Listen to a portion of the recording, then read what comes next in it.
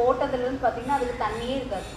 சில சமயம் ஒரு ஒரு மழை ஒரு மழை வரும். அவ்வளோதான் அந்தளவுக்கு அது தண்ணியில் எக்ஸ்போஸ் ஆகும். அதனால தான் அது ட்ரை ஆகிற ஃபுட்டாக ஆகுது ஸோ ட்ரை லேண்டில் வளருது. அப்போ நம்ம உடம்புக்குள்ளே அந்த ட்ரைனஸை தான் காஸ் பண்ணும்.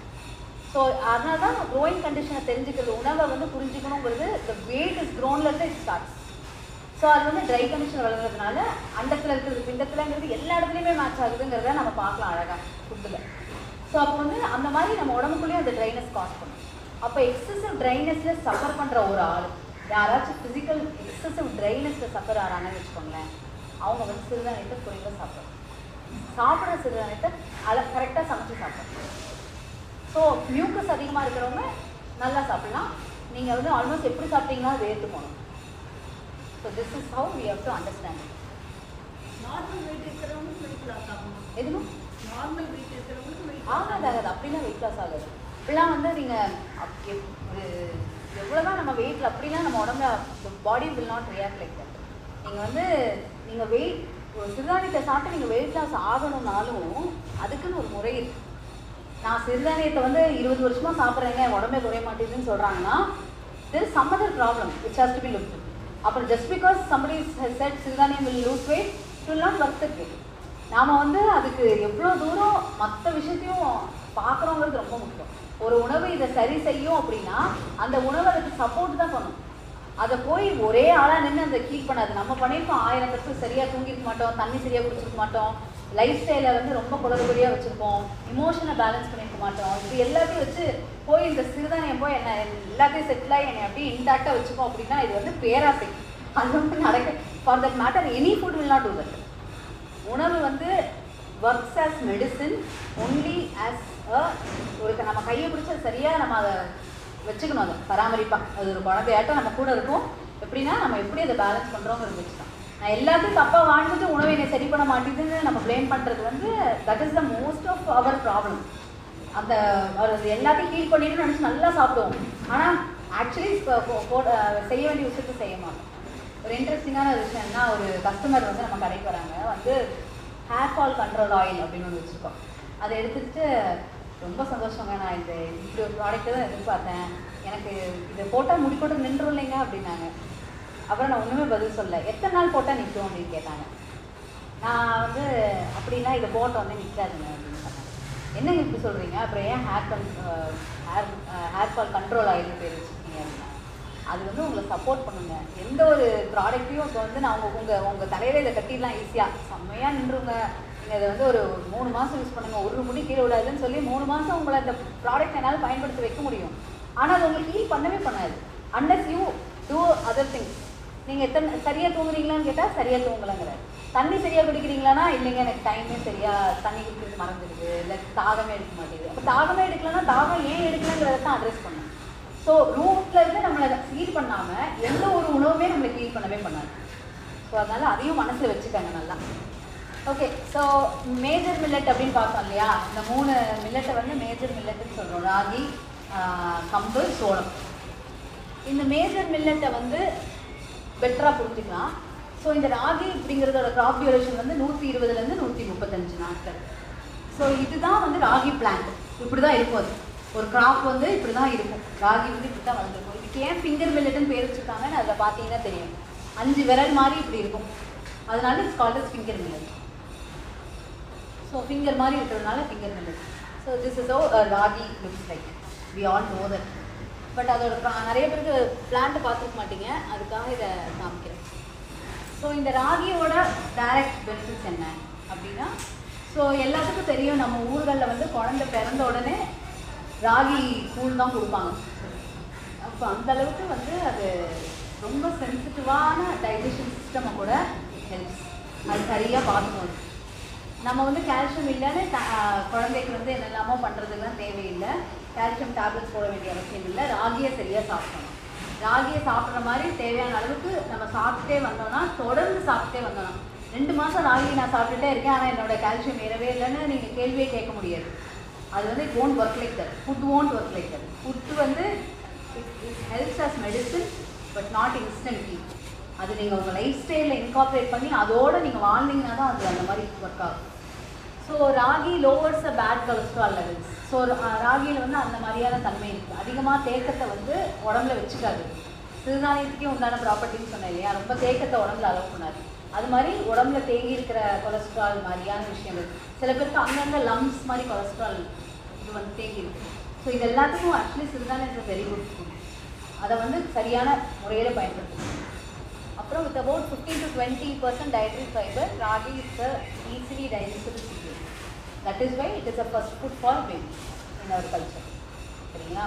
ஸோ இது வந்து கொஞ்சம் வயது இப்போ நான் வந்து ஜென்ரலாக சிறுதானியத்தை எப்படி ரெக்கமெண்ட் பண்ணுவேன்னா சோளம் கம்பு மாதிரியான விஷயத்தை விட கொஞ்சம் வயசானவங்கெல்லாம் சம்படி ஒரு ரீச் அபவ் சிக்ஸ்டின்னு வச்சுக்கோங்களேன் அவங்களுக்குலாம் அதிகமாக ராகி ரெக்கமெண்ட் ஏன்னா அதோட டைஜஷன் இது வந்து வேறு மாதிரி இருக்கும். இட் ஈவன் மோர் பெட்டர் கொஞ்சம் உடல் உழைப்பு அதிகமாக இருக்கிற ஆள் ஆஃபீஸ் போயிட்டு வரேன் நான் கொஞ்சம் வேலையில் இருக்கேன் வீட்டு வேலை செய்கிறேன் அந்த மாதிரி ஈடுபட்டு இருக்கிற ஆட்கள் வந்து மற்ற சிறுதானத்தையும் கண்டிப்பாக கன்சிடர் பண்ணலாம். Apart from ragi also so இது என்னெல்லாம் பண்ணலாம் ராகியில்? எல்லாமே பண்ணலாம். இதுக்கு மேலேயும் பண்ணலாம். ராகியில் சூப் பண்ணலாம். ராகி தோசை பண்ணலாம் இட்லி பண்ணலாம் ராகி களி ராகி முட்டை இடியாப்பம் புட்டு ராகி ரொட்டி ராகி கூழ் கேக்கு பேன் கேக்கு இங்கிலீஷில் என்ன வேணாலும் பண்ணலாம். Name of food you can do it with ragi. இன்னும் வந்து ராகியில் வந்து நாங்கள் இந்த மாதிரி நீங்கள் வந்து பார்த்தீங்கன்னா தெரியும். ஒரு ஃப்ளேக்ஸ் இருக்குது ராகியிலே அவல். அதெல்லாம் வச்சு நாங்கள் வந்து கட்லெட் இருக்கு இல்லையா? கட்லெட் செஞ்சு அதை அந்த பிரெட் க்ரம்ஸ்க்கு பதிலாக இந்த சிறுதானிய அவலை வந்து பேக் பண்ணி அதை ஃப்ரை பண்ணி அதையும் ஒரு இதாக கன்வெர்ட் பண்ணிடுவோம். அந்த மாதிரிலாம் எல்லாத்துக்குமே யூஸ் பண்ணணும். சிறுதானியத்தை வந்து எப்படி சமைக்கிறது அப்படின்னா நீங்கள் எப்படி அரிசி சமைக்கிறீங்களோ அப்படி எல்லா இடத்துலையும் நீங்கள் இன்கார்பரேட் சிறுதானியம். நீங்கள் எல்லா இடத்துலையுமே சமைக்க முடியும். கொஞ்சம் ப்ரொபோர்ஷன் தான் மாறும். ஆனால் பாசிபிலிட்டி இஸ் ஹியூஜ் நீங்கள் ராகியில் கேசரி கூட செய்யலாம். என்ன வேணாலும் பண்ணலாம். ராகியில் வந்து உப்புமா பண்ணலாம். எல்லாமே பண்ணலாம். எல்லாத்துக்கும் பாசிபிலிட்டி அதுதான் சொல்ல ஓகே இது வந்து கம்பு. கம்பு வந்து ஸ்காலர்ஸ் பேர்ல் மில்லட் இது வந்து 90 டு 95 ஃபைவ் டேஸ் ராகி விட கம்மி காலம் தான் இது வந்து இருக்கும். ஏன் ராகி ஈஸிலி டைஜஸ்டபிள்னு பார்த்தீங்கன்னா சம்டைம்ஸ் லாங்கர் க்ராப் டியூரேஷன் இருக்கிற ஃபுட்டு வந்து டைஜ டைஜஷனை வந்து கொஞ்சம் ஈஸ் பண்ணும். அதனால இந்த கம்பில் வந்து கம்பை விட ராகி வந்து டைஜஷனுங்கிற இடத்துல வந்து ஈஸ் யூஸ் பண்ணும். But kambu is has its own beautiful problem இன்னைக்கு கம்பு நீங்கள் வாங்குற கம்பு குண்டு கம்பு ஒன்று வாங்குவீங்க குண்டு குண்டாக இருக்கும் ஒரு கம்பு. ஹைப்ரிட் கம்பெனி தான் அது பேரே. அந்த கம்பு சாப்பிட்றதுனால கம்போட ப்ராப்பர்ட்டி கிடைக்காது. ஒல்லியாக நீட்டமாக நாட்டு கம்பு இருக்கும் நாட்டு கம்புன்னு சொல்லுவாங்க ஊசி கம்புன்னு சொல்லுவாங்க காட்டு கம்புன்னு சொல்லுவாங்க அதை. அந்த கம்பில் தான் ஆக்சுவலாக கம்போட ப்ராப்பர்ட்டி இருக்குது இந்த ஹைப்ரிட் பண்ணப்பட்ட விதையில் வந்து சூடு அதிகம். சரிங்களா? அது வந்து ஞாபகம் வச்சுக்கோங்க. ஓகே கம்பு வந்து ரெடியூசஸ் அசிடிட்டி இந்த பாடி அதாவது வயிற்றுல வர்ற அசிடிட்டி அல்சர் இஷ்யூஸ் இந்த மாதிரி இருக்கிறவங்க வந்து கம்பு ஜாஸ்தியாக சாப்பிடலாம். அதனால தான் வந்து வெயில் காலத்தில் கம்மங்கூழ் குடிக்கிறாங்க. ஸோ கம்மங்கூழ் வந்து கூழாக அந்த பதத்தில் குடிச்சிங்கன்னா தான் அது ஆக்சுவலி அது செய்யும். இப்போ நம்ம வந்து கம்பு ரொட்டி இந்த கம்பு ரொட்டி இல்லாட்டி கம்பில் வந்து ரொட்டி மாதிரி பண்ணி நான் வெயில் காலத்தில் சாப்பிட்றேன்னா அப்படின்னு சொன்னீங்கன்னா உடல் சூடு ஜாஸ்தியாகும் சுகர் பேஷண்ட் கஞ்சி குடிக்காதுன்னு சொல்றாங்க அது எப்படி அப்படி சுகர் பேஷண்ட் கஞ்சை எப்படி குடிக்கணுமோ அப்படி குடிக்கணும். நீங்கள் கஞ்சை வந்து கடகடா டம்ளர் எடுத்து குடிச்சிருக்கீங்கன்னா கஞ்சை ஸ்பூன் போட்டு மென்று சலைவாவோட இதில் செக்ரீஷன் நடக்கணும். கடகடன் ஏன் குடி குடிக்கிறது எல்லாத்தையும் ஏன் அவாய்ட் பண்ண சொல்கிறாங்கன்னா செக்ரீஷன் நடக்காது. ஃபுட்டோட ஃபுல் தன்மை உள்ளே போகாது. அது மாதிரி நீங்கள் கஞ்சை கூட சாப்பிட்டீங்கன்னா இது செலவு அவ்வளோதான் சல்லுன்னு உள்ளே போகக்கூடாது. இப்போ நீங்கள் குடிக்கிறதுனால என்ன ஆகும்? ஃபாஸ்ட்டாக போகும். அப்போ சுகர் பேஷண்ட்ஸ்க்கு வந்து அந்த இன்சுலின் செக்ரேஷன் நடக்கலை இதாகலங்கும் போது ஃபுல்லாக டக்குன்னு சுகராக டேரெக்டாக கன்வெர்ட் ஆயிடும் அதனால அப்படி சொல்கிறாங்க okay combo has a higher slowly digestible starch which breaks into glucose and slowly entering bloodstream. This is why it is very good for diabetes. So it contains high amount of iron, zinc which increases hemoglobin level. So இதில் வந்து ஆஹ், ரத்தம் வந்து உடலில் வந்து ஜாஸ்தியாகிறதுக்கு உண்டான property வந்து கம்பில் இருக்குது so கம்பு வந்து அதிகமாக சாப்பிட்றது வந்து நான் ரெக்கமெண்டட் தான். சீசனலாக ஒவ்வொரு சீசனுக்கு ஏற்றாப்புல அதை குக் பண்ணி சாப்பிடணும் இந்த சீசனில் தான் கம்பு சாப்பிடணும் அப்படின்னா எந்த ஃபுட்டும் கிடையாது. அந்த சீசனில் ஒரு மாதிரி குக் பண்ணணும் இன்னொரு சீசனில் வேறு மாதிரி குக் பண்ணணும். ஸோ குக்கிங்கில் தான் இங்கே ஸ்கில்லு இங்கே வந்து நீங்கள் வந்து எவ்வளோ சத்தையான குக்காக இருக்கீங்கங்கிறது அந்த இடத்துல தான் இருக்குது நீங்கள் அந்த சீசனுக்கு ஏற்றாப்புல அந்த குக்கிங்கை மாற்றுறது தான் இருக்குது ஸோ திஸ் இஸ் அபவுட் கம்பு. இதில் என்னெல்லாம் செய்யலாம்? கம்பன் சோறு செய்யலாம். கம்பு ரொட்டி கம்பு இட்லி தோசை கம்பு அடை கம்பு கொழுக்கட்டை கம்பு சாலட் கம்பு புட்டு. So you can make any thing out of it கம்பை நல்லா ஸ்ப்ரவுட் இன்னொரு ராகி கம்பை வச்சு ஒரு கிட்டத்தட்ட நான் அது ஒரு நிறைய நம்ம போகிற விசிட்ஸில் வந்து இதை கேள்விப்பட்டுட்டேன் ஒரு ஹண்ட்ரட் இயர்ஸ் முன்னாடி இது வந்து ரெகுலராக சாப்பிட்டுட்டு இருந்த உணவு பழக்கம். இன்றைக்கி வந்து வீ வீகன் மில்க்லாம் சொல்கிறோம் இல்லையா? பிளான்ட் பேஸ்ட் மில்க் அப்படின்லாம் சொல்கிறோம்ல அந்த பிளான்ட் பேஸ்ட் மில்காக நம்ம ஊர்களில் சாப்பிட்ருக்காங்க எதில் அப்படின்னா கம்பு ராகி. ராகியை கம்பை நல்லா முளைக்கட்டி நல்லா முளை நல்லா வந்ததுக்கு அப்புறமா பால் எடுத்து அந்த பாலில் வந்து கருப்பட்டி தேங்காய் இதெல்லாம் சேர்த்து சாப்பிடுவாங்க. தேங்காய் ஏலக்காய் எல்லாம் சேர்த்து குடிப்பாங்க பாலா. இது வந்து ஒரு வேளை சாப்பாடு. இது வந்து மதர்ஸ் மில்க் உண்டான சத்துக்கள் வந்து ஓரளவுக்கு இதுலேருந்து கிடைக்கும் அப்படின்னு சொல்கிறாங்க பண்ணாமல் பண்ணாம அப்படியே பச்சை நல்லா முளை கட்டிடுவாங்க ஃபுல் முளை வந்துடும் அதை வந்து ஒரு ஒரு வேலை சா ஃபுட்டாக சாப்பிடணும் அதாவது நம்ம இதை சாப்பாடு குடிச்சதுக்கப்புறம் டீ காஃபி குடிக்கிற மாதிரி இது ஒரு பக்கம் குடிச்சிட்டுலாம் இருந்தோம்னா அது ஒன்றும் செவிக்குமே செவிக்காது. அதையும் சொல்லிடுறேன். நம்ம வயிற்றில் வந்து தேவையான ஆசிட் செக்ரேஷன் அதாவது ஹைட்ரோக்ளோரிக் ஆசிட் சுரக்கும் போது இது ஒரு உணவாக போய் இருக்கும்போது டைஜஷன் கரெக்டாக நடக்கும். அது இல்லாமல் ஏற்கனவே செக்ரேஷன்லாம் முடிஞ்சு டம்முன்னு வயிறு இருக்கும்போது இது சாப்பிட்டீங்கன்னா இது செமிக்கவே செமிக்காது. அப்புறம் எனக்கு சிறுதானியம் சாப்பிட்டா வயிற்றுக்கு சேரலன்னு சொல்லுவோம். அப்படிலாம் அப்படிலாம் கிடையாது. சிறுதானியம் வந்து ஆஃப்டர் ஃபுட் பிஃபோர் ஃபுட்லாம் கிடையாது. அந்த சமயத்திலே சாப்பிடுவோம்.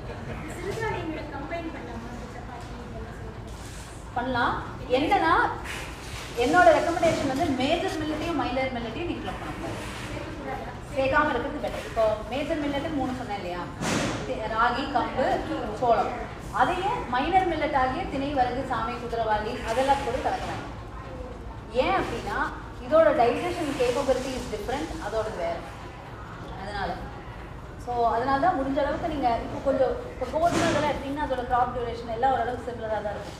பட் இது வந்து என்னன்னா ஹோ இப்போ இந்த மேஜர் மைல மில்லட்டுக்கும் மைனர் மில்லட்டுக்கும் உள்ள முக்கியமான டிஃப்ரென்ஸ் சொல்கிறேன் நீங்கள் மேஜர் மில்லட் எல்லாமே வெளியில் இருக்கிற தவிடோட சாப்பிடுவீங்க. அது அரிசி மாதிரி பதார்த்தத்துக்கு நீங்கள் ஒரு ரெண்டு மூணு லேயரை பிரானை வந்து எடுத்துட்டு சாப்பிட மாட்டீங்க.